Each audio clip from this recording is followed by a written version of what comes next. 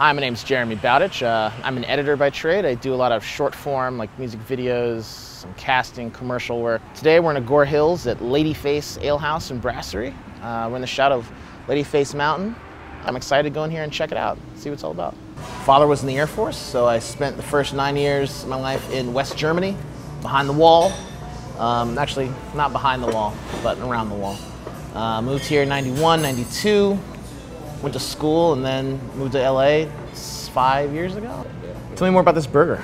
Burger's great. Uh, we have a burger. It's not actually on the menu. It's called the Lady Face Burger. You're saying this burger is off the menu? The burger, the Lady Face Burger, is off the menu. It's kind of you well have to then. know about it. Have to know about it. Yes, all right. yes. Put it over Uh, it's uh, basically it's our burger, but uh, they put onion confit instead of regular onions and a fried egg.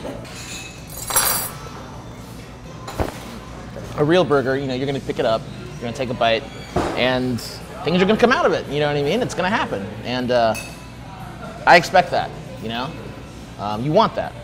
Oh wow. This is your flight of Ladyface beers. Starting from this side, we have our blonde, the wit, the amber, soft filet triple, Ladyface IPA, double IPA, Picture City Porter, and then our seasonal, the red rye.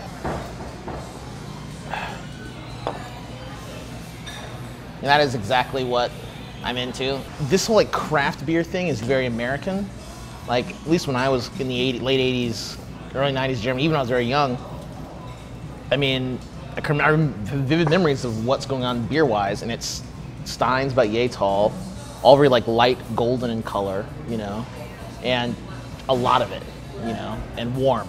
Uh, when I'm with a bunch of good friends, we're all hanging out, we're all having like a, a beer and you know eating this bar food and whatever. Then yeah, it's very much what these like older German dudes were doing, you know, while I was running around on the ground, uh, growing up in Germany. That is a great burger.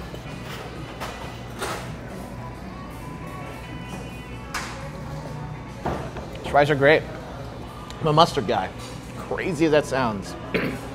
I will. Yeah, I'll, I'll dip. Yeah, if you could, yeah, side of mustard would be great. This curried mustard is is really great. Uh, you know, it's like obviously the mustard that you're into, but a really strong curry flavor. You know, it's way more complex than like your standard French fry ketchup profile.